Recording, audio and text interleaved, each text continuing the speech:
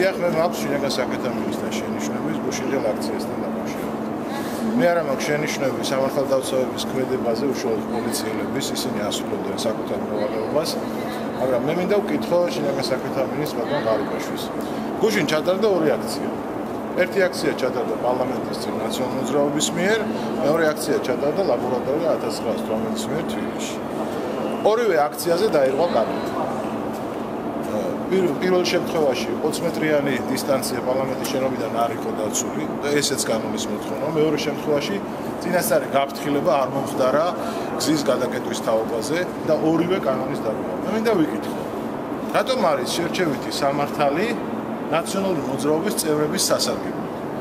რატომ არ იქნა აღკვეთილი მათი მხრიდან კანონის დარღვევა და აღკვეთილი იქნა ლაბორატორია 1918-ის მიერ კანონის დარღვევა? თუ კანონს წინაშე ყველა თანასწორია, მე არ ვითხოვ განსაკუთრებულ კაც მოპყრობას ნაციონალურ მოძრაობის მიმართ და მობიერ მოპყრობას სხვა პოლიტიკური ჯგუფის მიმართ. თუ კანონის წინაშე ყველა თანასწორია, იმის მიუხედავად გავლენიანი მფარველები ყავთ ევროპის სახალხო პარტიის სახით დასავლეთში, თუ ნეოკონსერვატორების სახით ამერიკაში, ამის მიუხედავად ადამიანები თანასწორი უნდა იყვნენ კანონის წინაშე და თუ კი ნაციონალური მოძრაობა არ ღვევს კანონს, მან ისევე უნდა აგოს პასუხი როგორც აგებინეს პასუხი ლაბორატორია 1918-ის წევრებს.